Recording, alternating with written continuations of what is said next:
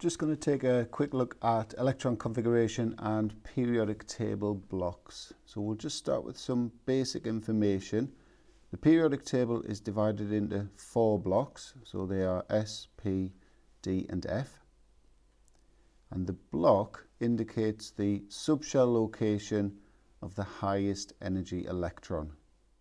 So there's just a reminder of the energy ladder for the subshell. So you can see 1s is at the bottom and for A level you only have to go up to 4p so that's all I've included in the diagram.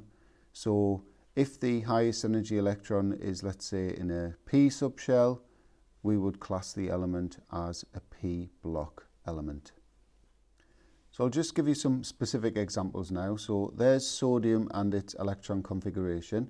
So I've coloured in the highest energy electron in blue. So that's a 3s subshell. So it's classed as an S block element. Carbon, highest energy electron is in that 2p subshell, so that's p block. Iron's highest energy electron is in a 3d subshell, so that's classed as d block. And you'd never have to write the electron configuration for something like terbium. Maximum you've got to do is 36 electrons. But there's terbium's full electron configuration, and you can see its highest energy electron is in that 4f subshell, so that's classed as an F block element. So if we look at where these blocks are now on the periodic table, so starting with S block, there it is there in blue.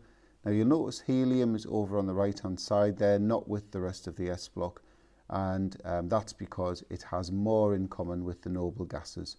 So it's put with them. However, it is an S block element, its electron configuration is 1s2, so its highest energy electron is in an S subshell. There's the P block, there's the D block, and there's the F block.